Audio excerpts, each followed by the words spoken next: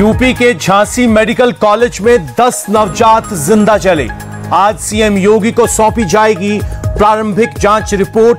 अस्पताल के गेट पर गुस्साए परिजनों का प्रदर्शन। दिल्ली में सनातन बोर्ड के गठन की मांग को लेकर विराट धर्म संसद का आयोजन।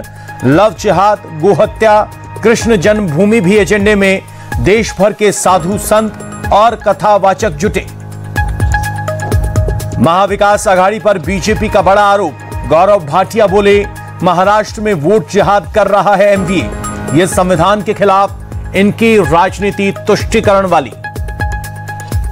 महाराष्ट्र चुनाव में वोट जिहाद को लेकर देवेंद्र फडणवीस ने सभा में सुनाया सज्जाद नोमानी का ऑडियो।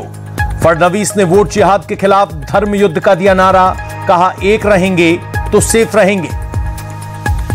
पीएम मोदी ने मेरा बूथ सबसे मज़बूत कार्यक्रम में महाराष्ट्र के कार्यकर्ताओं से किया संवाद। बोले, महाराष्ट्र के लोग महायुति के काम से खुश, हमारी जीत पक्की। दिल्ली में छेड़खानी का विरोध करने पर मर्डर की वारदात। सलमान अरबाज नाम के दो भाइयों ने मिलकर की हत्या। सलमान अरबाज गिरफ़्तार, हथियार बरामद। पटना के दानापुर में सेना भर्ती के लिए भारी भीड़, दौड़ के लिए मौका नहीं मिलने पर युवकों का हंगामा। पुलिस ने हंगामा कर रहे युवकों पर बल प्रयोग किया।